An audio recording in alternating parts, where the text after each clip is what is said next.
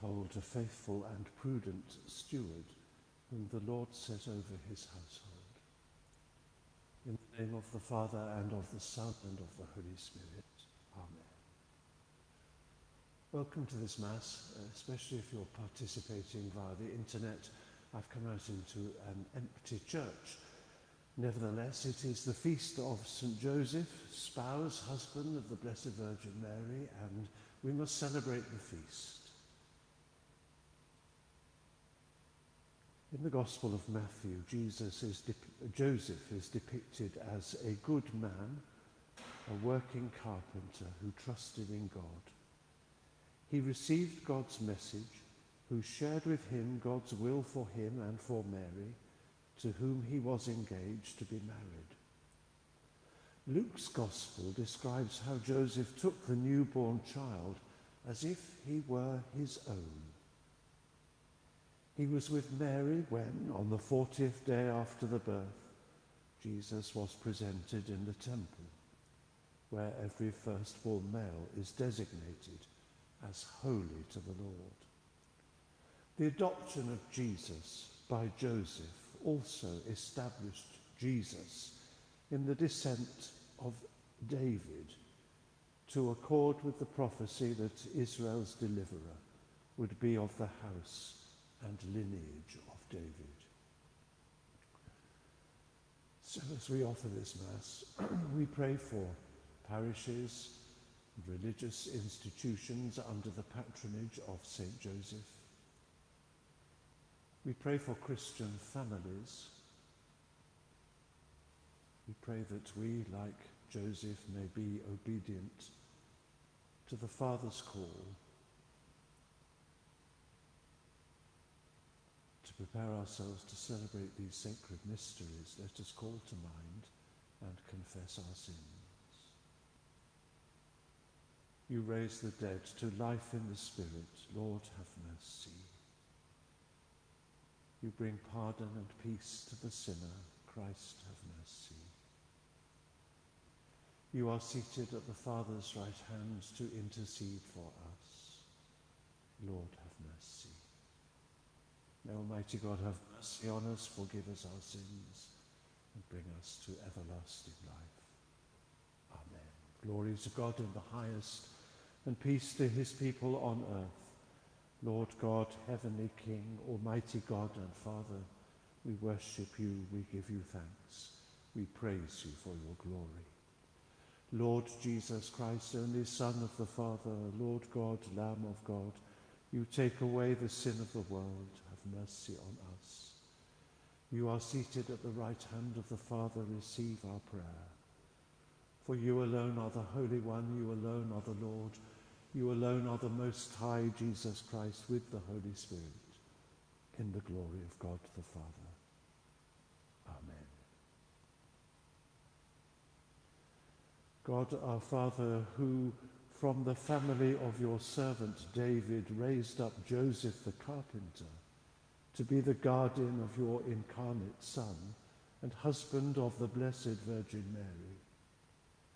Give us grace to follow him in faithful obedience to your commands through Jesus Christ, your Son, our Lord, who is alive and reigns with you in the unity of the Holy Spirit, God, now and forever.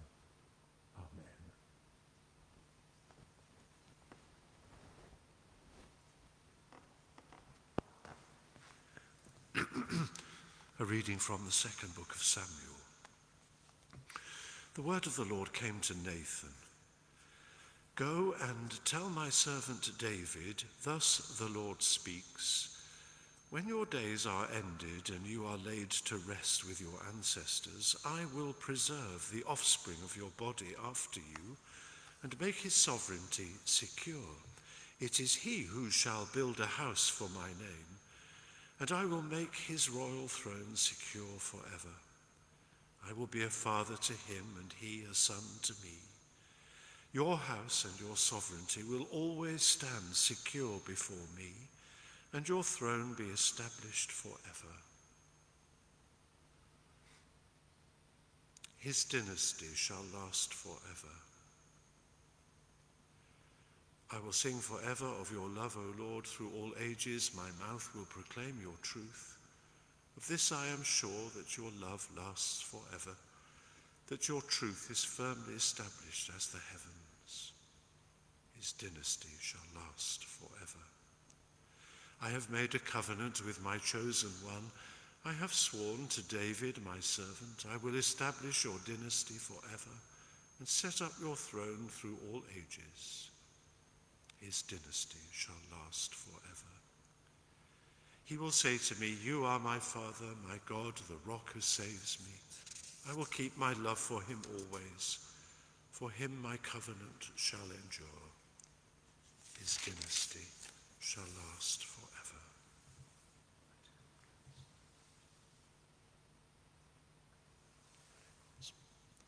Glory and praise to you, O Christ. They are happy who dwell in your house, O Lord, forever singing your praise. Glory and praise to you, O Christ. A reading from the Holy Gospel according to Matthew. Glory to you, O Lord. Jacob was the father of Joseph, the husband of Mary. Of her was born Jesus, who is called Christ. This is how Jesus Christ came to be born. His mother Mary was betrothed to Joseph, but before they came to live together, she was found to be with child through the Holy Spirit. Her husband, Joseph, being a man of honor and wanting to spare her publicity, decided to divorce her informally. He had made up his mind to do this when the angel of the Lord appeared to him in a dream and said, Joseph, son of David, do not be afraid to take Mary home as your wife, because she has conceived what is in her by the Holy Spirit. She will give birth to a son, and you must name him Jesus, because he is the one who is to save his people from their sins. When Joseph woke up, he did what the angel of the Lord had told him to do. This is the gospel of the Lord. Praise to you, O Christ.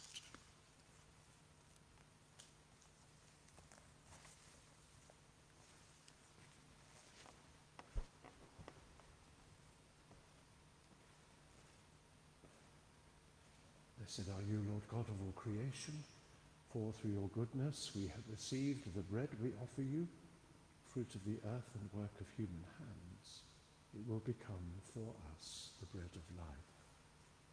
Blessed be God forever.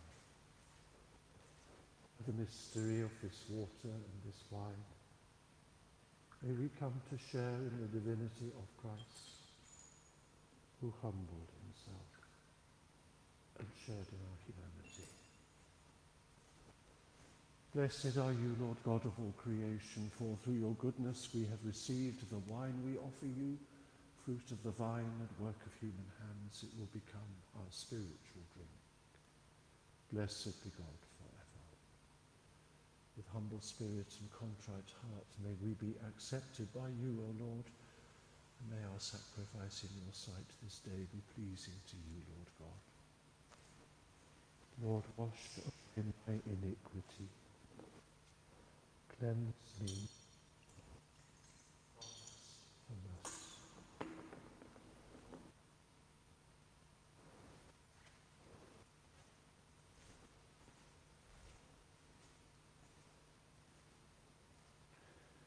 Pray, O Lord, that just as St. Joseph served with loving care your only begotten Son, born of the Virgin Mary, so we may be worthy to minister with a pure heart at your altar.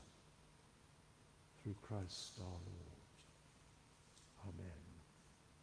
It is truly right and just, our duty and our salvation, always and everywhere to give you thanks, Lord, Holy Father, Almighty and eternal God, and on the solemnity of St. Joseph, to give you fitting praise, to glorify you and bless you. For this just man was given by you as spouse to the Virgin Mother of God, and set as a wise and faithful servant in charge of your household, to watch like a father over your only begotten Son, who was conceived by the overshadowing of the Holy Spirit, our Lord Jesus Christ. Through him the angels praise your majesty, dominions adore, and powers tremble before you. Heaven and the virtues of heaven and the blessed seraphim worship together with exaltation. May our voices, we pray, join with theirs in humble praise as we acclaim. Holy, holy, holy Lord, God of power and might, heaven and earth are full of your glory. Hosanna in the highest. Blessed is he who comes in the name of the Lord. Hosanna in the highest. You are indeed holy, O Lord, the fount of all holiness. Make holy, therefore, these gifts, we pray, by sending down your Spirit upon them like the dewfall, so that they may become for us the body and blood of our Lord Jesus Christ. At the time he was betrayed and entered willingly into his passion, he took bread and giving thanks broke it and gave it to his disciples, saying, Take this, all of you, and eat of it for this is my body, which will be given up for you.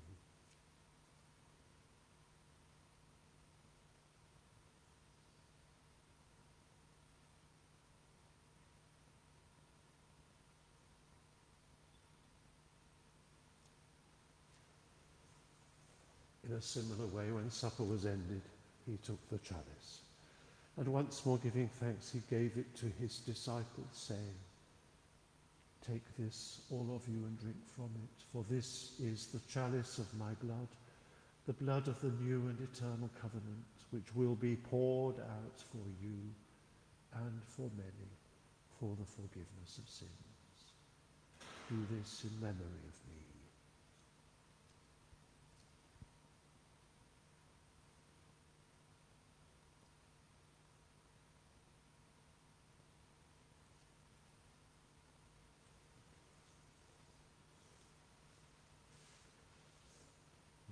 As we celebrate the memorial of his death and resurrection, we offer you, Lord, the bread of life and the chalice of salvation, giving thanks that you have held us worthy to be in your presence and minister to you. Humbly we pray that, partaking of the body and blood of Christ, we may be gathered into one by the Holy Spirit. Remember, Lord, your church spread throughout the world, and bring her to the fullness of charity together with Pope Francis, Bartholomew the Ecumenical Patriarch, Justin our Archbishop, Martin our Bishop, and all the clergy. Remember also our brothers and sisters who've fallen asleep in the hope of the resurrection, and all who have died in your mercy. Welcome them into the light of your face. Have mercy on us all, we pray, that with the Blessed Virgin Mary, Mother of God, with the blessed apostles and all the saints who have pleased you throughout the ages, we may merit to be co-heirs to eternal life and may praise and glorify you through your Son, Jesus Christ, through him and with him and in him, O God, Almighty Father, in the unity of the Holy Spirit. All glory and honor is yours forever and ever.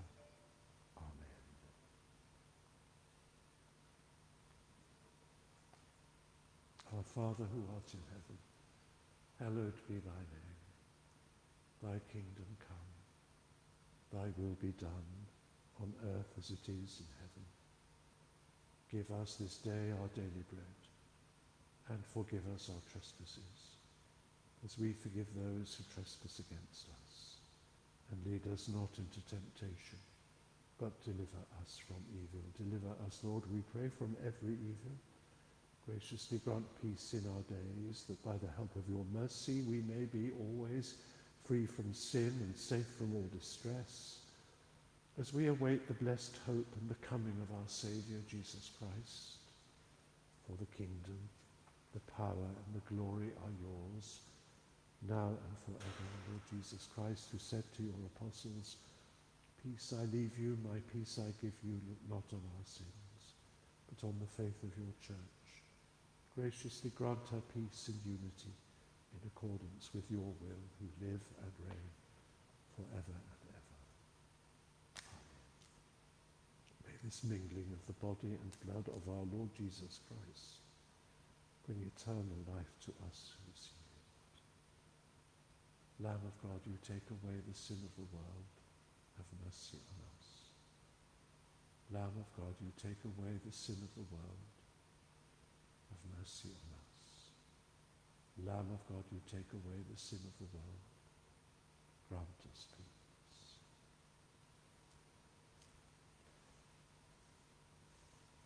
Lord Jesus Christ, Son of the living God, who by the will of the Father and the work of the Holy Spirit, through your death, gave life to the world, free me by this your most holy body and blood from all my sins and from every evil. Keep me always faithful to your commandments and never let me be parted from you. Behold the Lamb of God. Behold him that takes away the sin of the world. Blessed are those called to the supper of the Lamb. Lord, I am not worthy to receive you, but only say the word, and I shall be healed.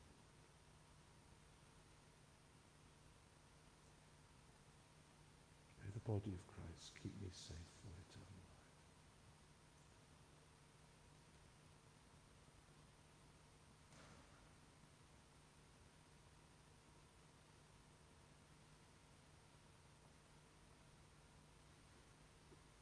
May the blood of Christ keep me safe for eternal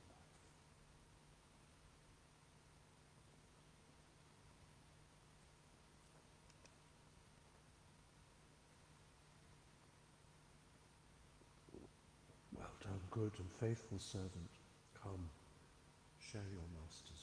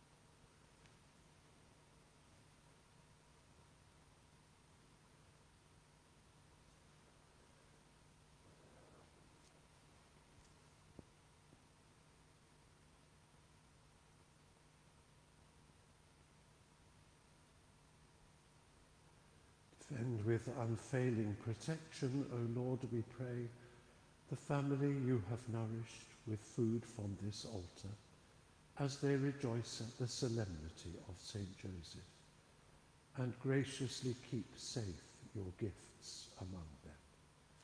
Through Christ our Lord. Amen. Let us bless the Lord. Thanks be to God.